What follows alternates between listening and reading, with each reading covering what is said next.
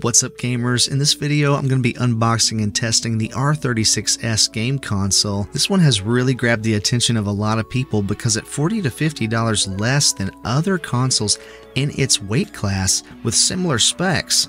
Is this too good to be true? Let's get into it.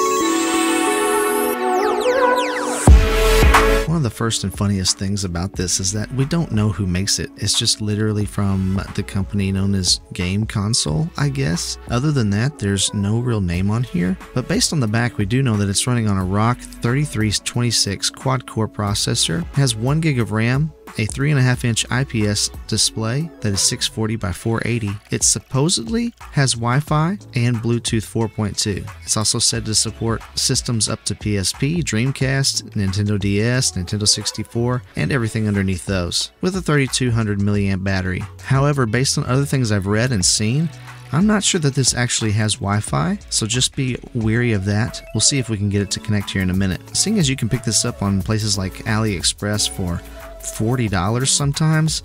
This is a really nice box. I will give them that. It's got some nice art on it and it's designed very well. It has a really nice retro aesthetic to it. Let's open it up. It does come with a screen protector. It also has a charging cable, user manual, and wipes to clean your screen before you apply the screen protector. We'll deal with that later. And for the grand reveal, shing. Wow. Okay. Well, you know what? This is a pretty nice translucent purple. I don't hate it. It's nice that it has a removable back and battery if you can get it open without ripping your fingernails off. First impressions here, it doesn't feel too bad. These buttons are definitely uh, smaller. They're smaller than like an Anbernic device. That's a pretty loud click there in the middle. The D-pad doesn't feel terrible. It's a little sharp. The edges are a little jagged, like they're pointy. Playing fighting games or trying to hit those diagonals a lot might be a little uncomfortable. Joysticks feel they feel a little cheap. They feel kind of I don't know thin or something or like thin might be the best way to describe it. It feels like there's not much heft or weight to them. They just kind of are there. Uh, probably not going to be the greatest strength of this device. Moving around the edges here, we have a power button, a reset button, a TF2 slot, for your game card. We have a USB-C port for charging and a USB-C port for a second controller, as well as a 3.5mm headphone jack. On this side, you have your TF1 slot for your operating system and your volume rocker. These all feel pretty good. This one did come with a 32 gigabyte card, just a generic TF card with the operating system on it. It also came with a 64 gigabyte TF card with the games on it. Again, just generic. Those cards probably won't hold up over time, and you would want to consider replacing them as soon as possible. I know a lot of people trust Samsung and SanDisk. I personally like Lexar cards. I think that they hold up really well, and they're just a little bit cheaper usually. I've had really good luck and success with those. In terms of its size and weight, it feels very similar to the Anbernic RG353V. One thing that is noticeably different are these triggers. They are like really actually you have to really press down especially on R2 and L2 they seem very stiff or heavy or something like it's really difficult to push down on them. So you're not going to be able to just tap that really quick. You're going to have to put some effort behind it. Let's power it on and see what happens here. This is a Linux based console and it comes pre-packaged with ArkOS, which is a good operating system, but it looks like we're running an older version of it here. It's 2.0, which I believe came out sometime in the spring of 2023.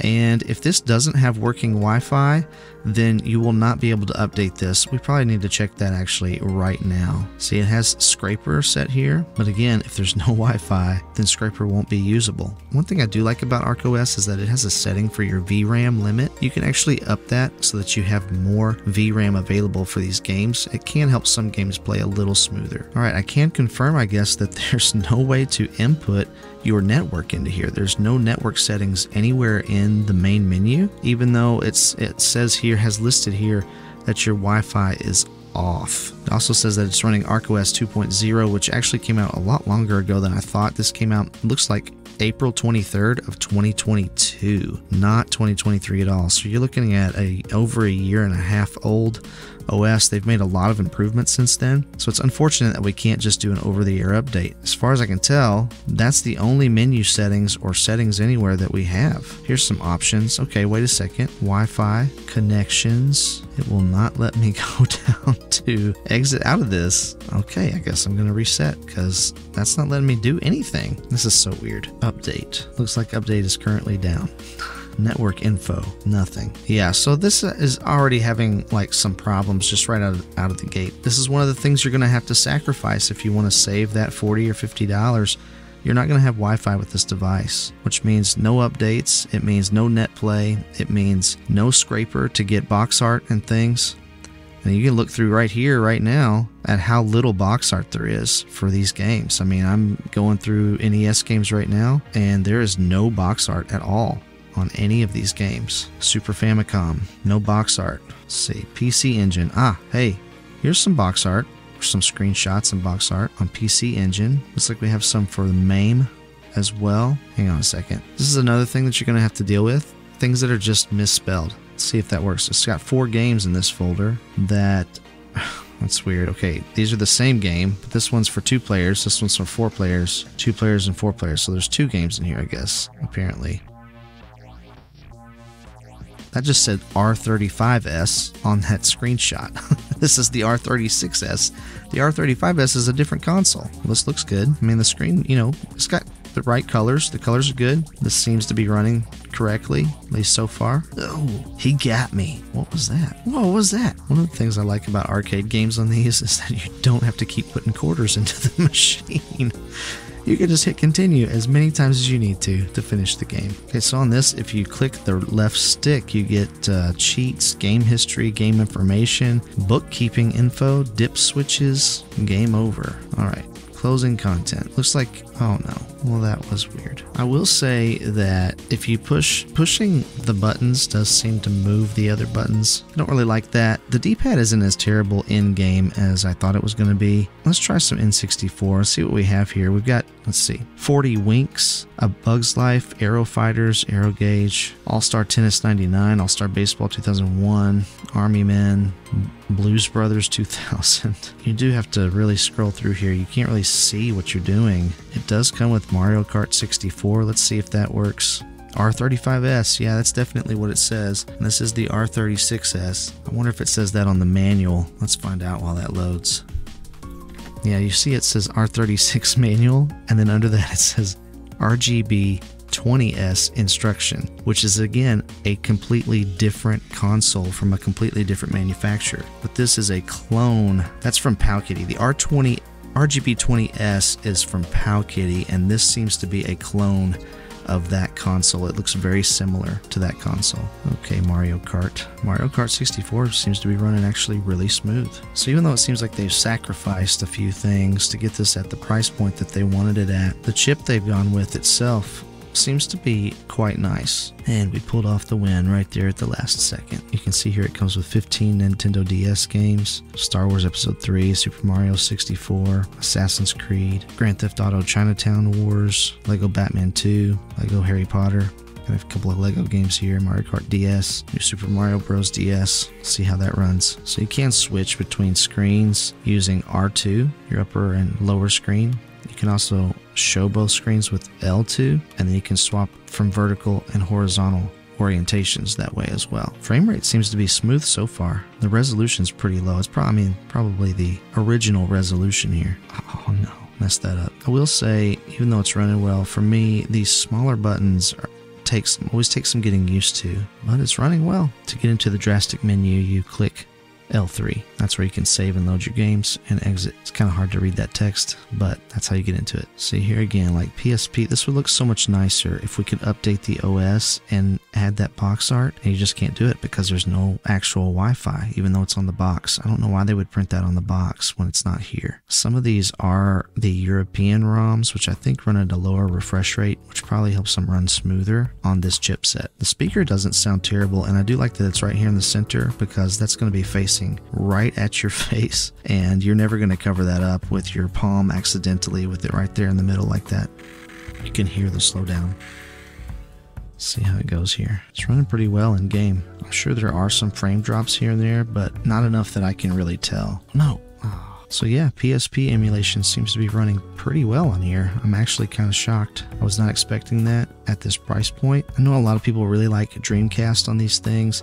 There's only five games that come with this on Dreamcast. Of course, you can take out the card and add your own ROMs, but uh, there's only five on here to begin with. But we do have Marvel vs. Capcom 2 and Crazy Taxi 2, as well as Dead or Alive 2, and Giga Wings and Legacy of Kain. So those are uh, some pretty good choices if you only had to pick five to put on here. Let's see how Marvel vs. Capcom does. It's always a good sign when the company logo comes up and you don't see any frame drops. Alright, fair warning, I'm terrible at fighting games, so this is going to be ugly, but let's just see if the frame does drop any at all. Oh, come on, Hulk. Oh, what was that? How did I do that? As far as I can tell, there's no slowdown on this one either. So not only did they give you good ROMs without any corruptions, seemingly, at least not the ones we've tried, seems to be fast enough, the RAM seems to be fast enough, everything's working well. It's just still really unfortunate you don't get the same control experience as you do on some higher end emulators. Okay, we are getting some slowdown on Crazy Taxi 2. Yeah, we're getting a lot of audio stuttering and a lot of frame skipping on Crazy Taxi 2.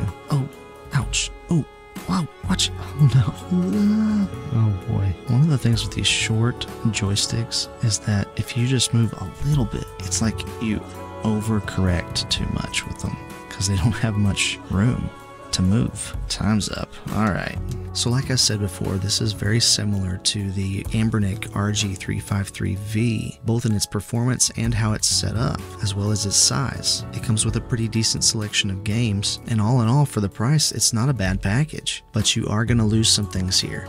That Wi-Fi is a pretty big deal to me. Also, just generally across the board, I don't think any of these controls, but the triggers, the sticks, the D-pad, or the face buttons feel as good as the 353V. I like the audio on here just fine, and these controls are serviceable, they're fine, and I don't think anyone could blame you if you wanted to save a little money and get this instead. But personally, I think that if you just save your money a little longer, the Powkiddy RGB30 or the Anbernic RG353V would be a much better choice. You'll have better controls and a much cleaner interface, and you'll be able to receive over the air updates. But what do you think? Do you like the R36S? Let me know in the comments below. I will have an affiliate link in the description below if you want to pick one of these up and help support the channel at no added cost to you. Please like and subscribe and all that jazz. Thanks for watching. Stay kind and encouraging out there, and I'll catch you on the flippity flip.